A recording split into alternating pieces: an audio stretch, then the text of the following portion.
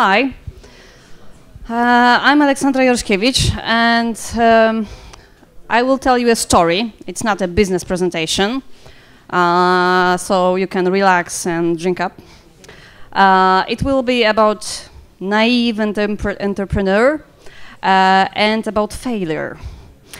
Um, I don't know um, if you know, but I didn't, that most of the companies um, fail. Uh, in the best possible scenario, they are bought by other companies, but in the, in the worst scenario, they are just shut down. And statistics are really, really, really horrible not only for Poland. Uh, if you check uh, Europe or, or, worldwide, it's basically the same. So, for example, if you check the um, uh, Fortune 500 list from 973, uh, 15 years later, then you'll notice that um, about 40% of the companies, and I mean, it's Fortune 500, right? So it's the like the list of the biggest, biggest companies in the world. It's they don't exist. So um, even the companies that you know at the moment, like Jaguar, Subway, Polaroid, and Yahoo, they have huge problems. So when I was starting my own company, uh, when I was thinking about starting my own com company, that thought didn't cross my mind, right? So failure was not an option, but it was not like I'm afraid or something, but it wasn't just there in my mind. Uh, but let's start from the beginning. I'm the kid of 80s. Um, and I remember that I watched with my grandma uh, Dynasty and Bold and Beautiful. And I watched a lot of um, MTV. Uh, and when I thought about myself, um, I thought that uh, it's normal that when I grow up, uh, I will have the pool, I will have nice uh, house, at least house, not an apartment and it will just somehow happen. Uh, and when I thought about my professional life, I thought that I will be working in a, some international company, right? Mm, I've uh, graduated from Japanese studies, so not marketing or management. Uh, I had different thoughts about my career. Uh, I've been working uh, even as a flight attendant so basically, my thought was uh, just to do something interesting.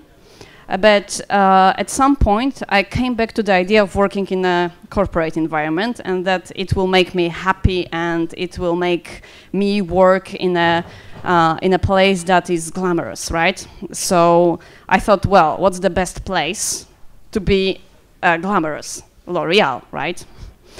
Um, it took me seven months to get there and uh, my first day uh, was exactly that I, what I imagined. Uh, it was a press conference, so huge PR event launching a new product. Uh, I think it was in Hilton Hotel. Mm, and celebrities, um, the best journalists. Uh, I was wearing heels, of course, nails done, you know, women, right? Uh, and I thought, okay, so that's how my life will look from now on, right? Um, but the second day wasn't that good. Actually, I've noticed that one uh, box of cream is not that heavy, right? Uh, but when you have to send it to um, like 150 other journalists, uh, you have to run um, the back and forth with boxes full of creams, and that weighs a lot. Uh, so I've spent uh, I've spent four years uh, in L'Oreal, and that's classic. Uh, I worked in PR and then in marketing. Uh, I've learned a lot, really a lot. I was managing one of the biggest uh, Polish ad advertising budgets because I was working with uh, Vichy, so we know uh, the, the traditional marketing mix, uh, which is TV and press and, and even internet and then radio. And I got more and more tasks, more and more money, some promotion, and more and more absurd um, jobs to do and absurd um, products, right? Uh, at one point, at what one point, um, well, uh, there was a situation where uh, I had a press campaign, and uh, to, to, to make a successful uh, press campaign in Poland, you have to have samples.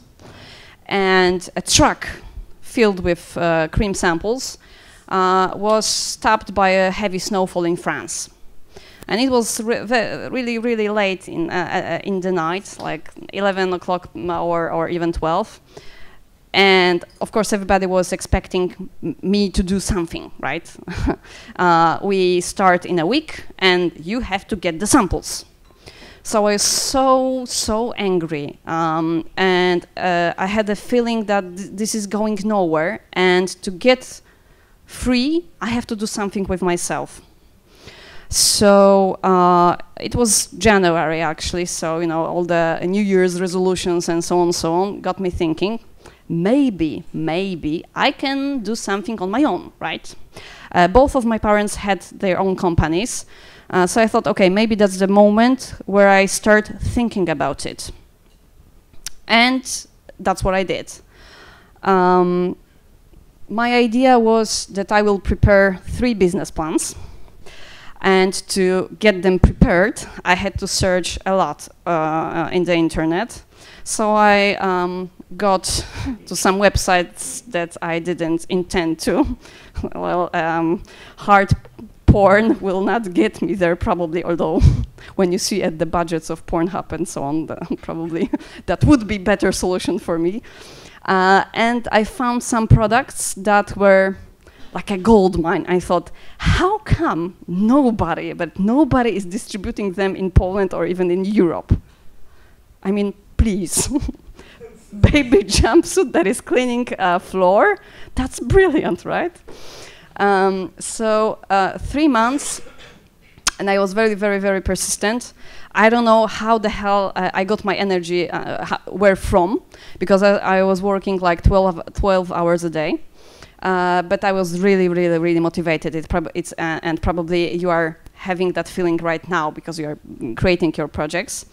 Uh, so I did it, and um, it was, I think, late March that I was ready, and uh, my friend uh, and my partner's friend uh, Pavel came by. Uh, they knew each other from university political studies. And I said, okay, hi, very, very nice to see you. You know what? I've been doing a lot of research and I thought that maybe I can start a company. And he was like, whoa, I was thinking the same thing. so look how naive, right? uh, we are both at the moment where we can, uh, or we want to do something. We feel that our creativity is not being used well in uh, our companies. Nobody, nobody taps us at the back and says, oh, good job, good job, right? You're so creative, you're a good worker. So we thought we will make it for ourselves. Um, and uh, we thought that from the three business plans that uh, I've prepared, uh, the best solution, uh, uh, the, the, best way to choose the business is to ask some other people. So uh, we uh, did like corridor tests. I don't know if you know what it means, but in marketing, usually when you have a campaign, you run through the whole company and you ask random people, do you like it, right? Uh, the, the, best uh, um, uh, testing gets in alcohol companies. so when they test, like for example, lemon vodka, you can try 15 different kinds. And we chose Fun in Design, which was shoe designing platform. Uh, that project, uh, it, it wasn't an original idea, and we didn't uh, say that from the beginning, right? We, we were quite honest. I saw the project in Japan, and uh, I thought it was Japanese idea, but then uh, I learned that it was an Australian startup. each and every woman that saw that project was like, oh my God, you have to do it. I will buy, buy shoes from you uh, families, friends, strangers, they all said that, that it's a perfect, perfect, perfect product because they often have problems with finding the right uh, design, the right, the right shoe for themselves. So we started. Uh, it uh, we didn't start as two people. Uh, basically, just like in a one month, I managed to, let's say, uh, um, uh, the, um, make for other people to work with us. Um, uh, they were our friends and, and, and, partners, and so we, we got six people. Uh, the most, I think, that the hardest part in that time uh, was to find because we are, you know, nobody knew anything about shoes, right? Uh, I'm not into fashion, honestly. I'm more into gadgets. So Pavel, Pavel was the, the, the person that was responsible for, for the product. Uh, so the, the biggest problem was uh, finding the, the contractor that will make the shoes. Uh, imagine me calling through Poland, through all the companies that I found in internet, and explaining that I'm interested in ordering shoes, but I don't have the design yet. I want to I want to order uh, one pair, uh, but probably it will you know uh, it will grow. So uh, one order, one pair, and maybe two shoes different in that one pair. And I heard. Uh, yeah, yeah, great. Uh, we can we can start working with you. The minimum order is 500 pairs. And I said, no, no, no, no, no, no, no, no, no. You don't understand. I want to order probably 500 pairs of shoes, but each will be different. And they said, uh, no. and imagine like hundreds of companies. I think I called almost everyone. So that was hard. And in the meantime, I've, re uh, I've read an article about uh, press conference uh, of the company that did basically exactly the same in Poland, in Warsaw. So we were like, what the fuck? How? We were, okay, we, were, we weren't so secret about it, but what are the odds, right? It was like kicking the head. I mean, imagine you are working so hard, four months, night and day, searching for contractors, designing the shoes, making the website, searching for guys that will make application that will enable you to design the shoes, that it's not easy. And then other team gets everything done before you.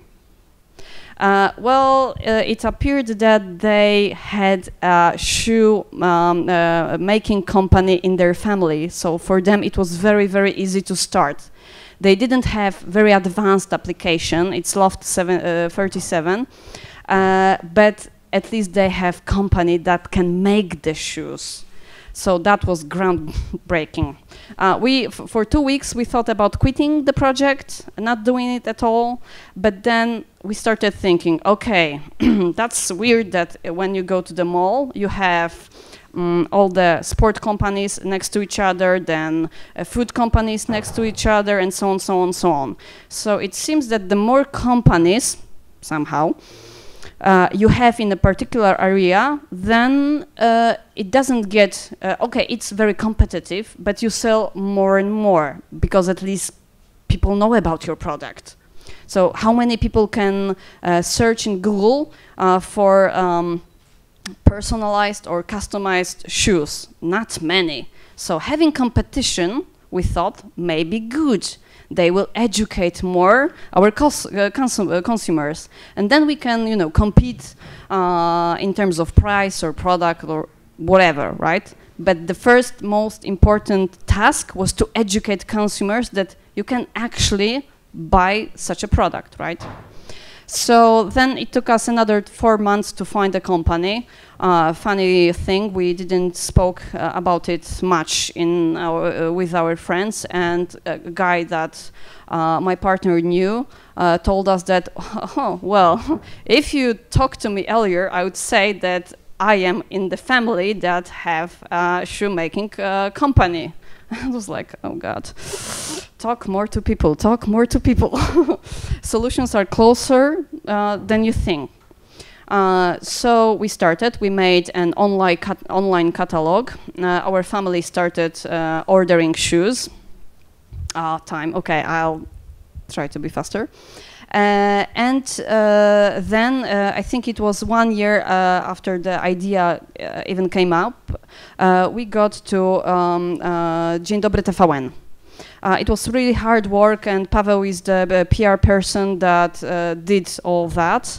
And that day um, made us uh, think because we got like um, I think 1,000 orders one day. 60,000 people were trying to get to our website. Of course, the servers were down several times.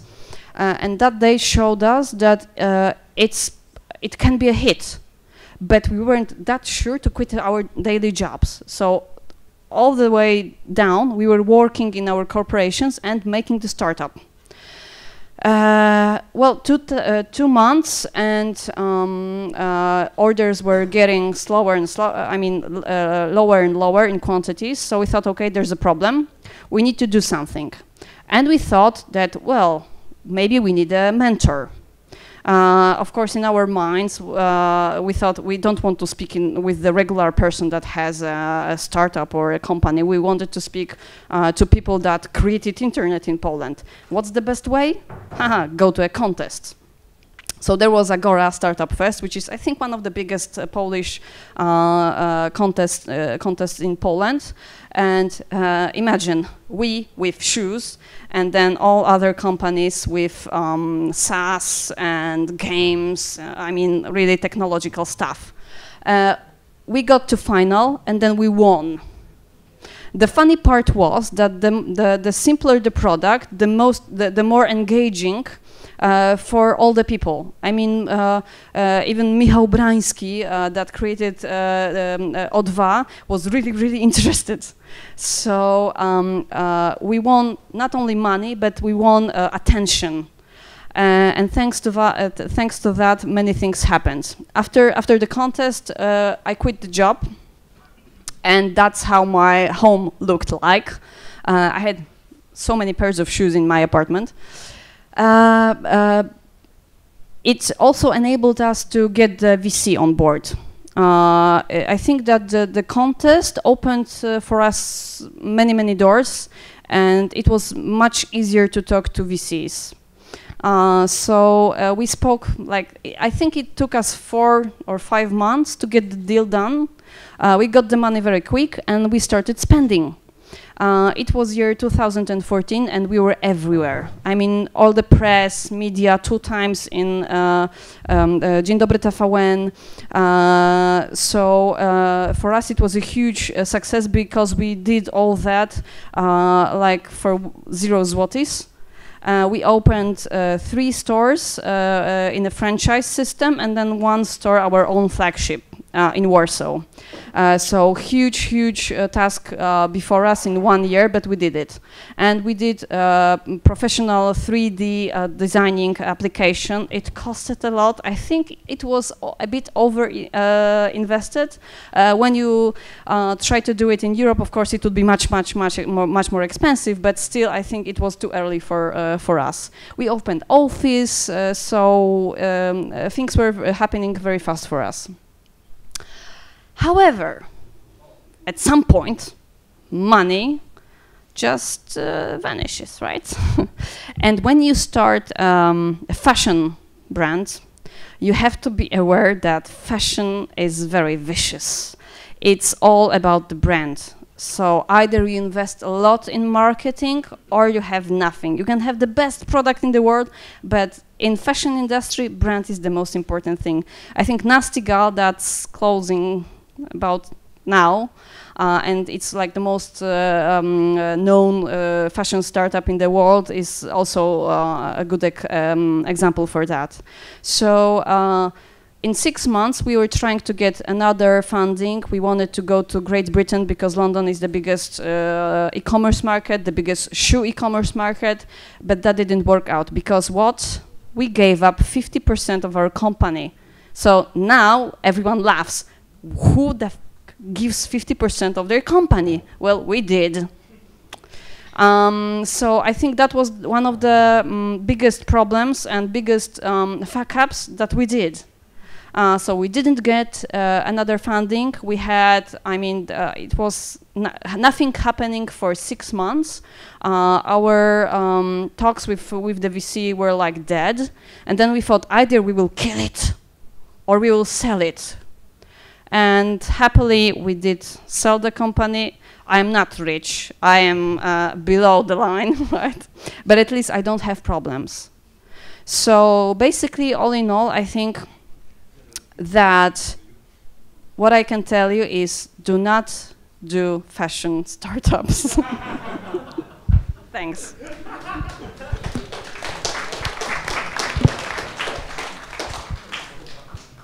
Does anyone have any questions? How much money you worth? Uh, one more time. How much money you worth? Sorry, burnt, burnt, yes. Not that much. Uh, uh, half a million of Polish zlotys. So I think uh, as for a fashion brand, that's not a lot. And then we invested 200, uh, so uh, so altogether se- uh, altogether 700,000 zlotys. So less than less than million.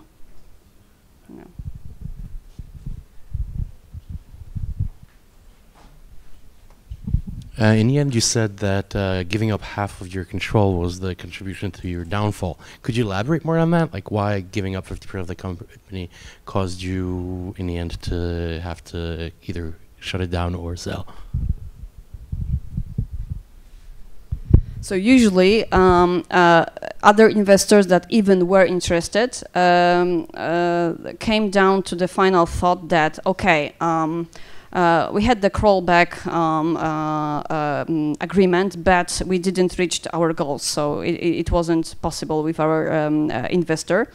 Uh, but the other VCs told us that that's not much. That they wanted us to have at least 30%, but they weren't uh, keen to give us, you know, let's say five million uh, zlotys just for the rest, right? They wanted uh, more.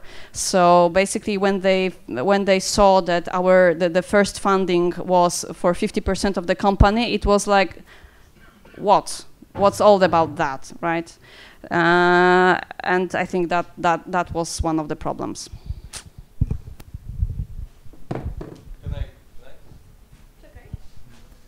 Just one moment. Uh, okay. Uh, my first question is, what was the most important learning from this failure, or just selling the company? And second one, uh, you are listing that you are the head of matras.pl. So what you are, yeah. Yeah. So what that means, or what you're doing right now, or considering to do some startup in the future, maybe I don't know, or joining. Uh, well, I think the, uh, um, I mean, key, learning for me is really, really, really choose your market very, very carefully. I mean, think about investment that is really needed to make the business. Uh, I mean, because in the fashion industry, I mean, you can believe me, it's not possible to do it with zero zlotys or with half a million or even with one million. That's not possible. That's not how it works. Uh, with the cosmetic uh, cosmetic company, also, or okay, maybe it is possible, one chance in a million, but you have to have a lot of time. So if you start uh, something connected with the beauty, uh, you have to at least take uh, into consideration 10 years, at least. So imagine investing all the time uh, in the company, your own money for 10 years. That's really, really, really difficult. It happens sometimes, but we weren't, uh, we didn't, we couldn't afford it. We had the mortgages and so on, so on. So that that wasn't possible. When I when I've uh, sold the company, uh, I thought to myself, oh my God, what I am going to do? I mean, I focused so much on uh, uh, running away from the uh, uh, international company, and basically all those stories in the in the press were about that. So young people running away from corporation, dream of everyone. Like, so that was the the, the, the best marketing um, uh, claim for us. And I thought to myself, oh my God, I don't know what I will do. I cannot go back. It means like shame, you know, the Game of Thrones shame. I, I imagined somebody will be going behind me and telling that.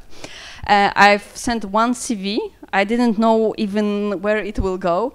Um, and they called me. It was like for e-commerce manager. I, I wasn't even sure if e-commerce is the right thing for me because I was doing everything. I mean, developing company from the scratch, doing not only e-commerce but also all the uh, brick and mortar shops, right? Uh, customer service, every every everything.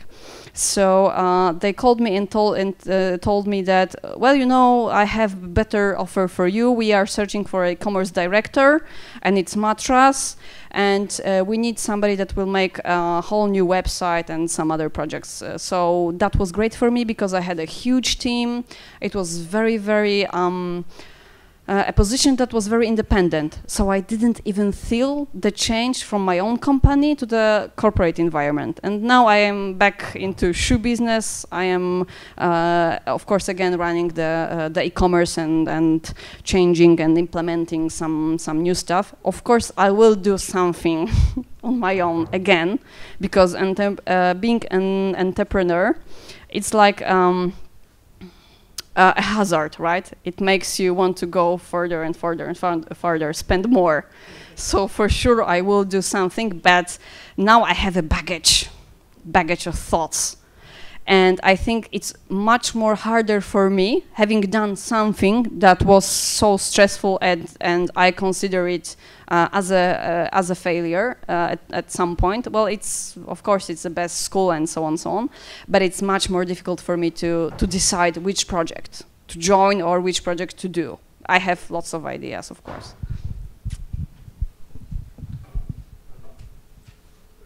Can you tell us uh, exactly how, how big was the cost of the album Yeah. and uh, why it was uh, overinvested?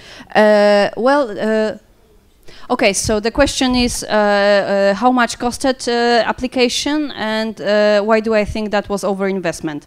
So one thing that was uh, we spent the uh, most the the most expensive application was the third one, and our idea was to make it 3D. So make all the shoe designs in 3D.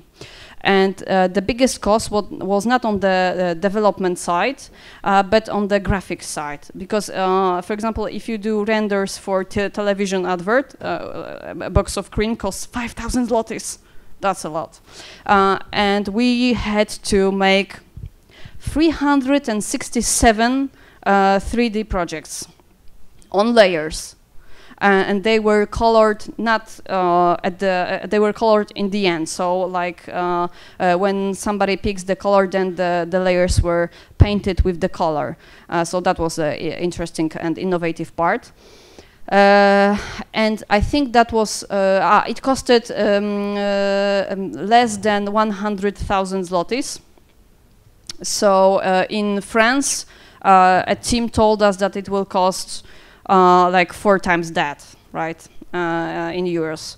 Uh, so I think that was uh, taking into consideration all the 3D projects. That was cheap, but our customers didn't need all that.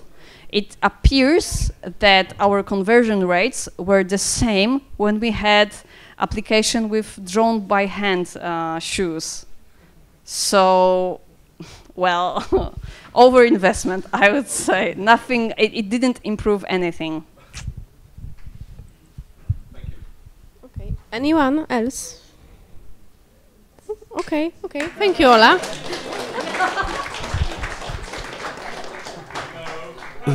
Przepraszam. Uh, what is the one thing that you love about Polish startups, and what is the one piece of advice that you would give the new Polish startups from your experience? Well, I mean, the best, uh, uh, uh, well, the best thing in Polish startup community is that you can talk. You can ask questions, and everybody will will tell you honestly how the business looks like. Looks like. So uh, uh, uh, at the beginning, I was curious. Okay, what are average conversion rates in Poland? And it was like, if you search it in internet, it doesn't exist. But then if you, if you talk with people, everybody will tell you. So openness, uh, eagerness to help, I mean, that's amazing. So many people helped us that at the moment, I am, I am if somebody asks me uh, for help, I say, they, that I say that I have a social debt to pay because so many people helped us. Free photo shoots, uh, free adverts, so many free stuff, so much free work that that's the best uh, possible environment that you can work with. You have to just ask. And that was for me very, very strange because I thought that it's a competitive world. Well, yes, it is, but basically people are very, very eager to help. So my advice to you is just ask for help and people will help you. Mm -hmm.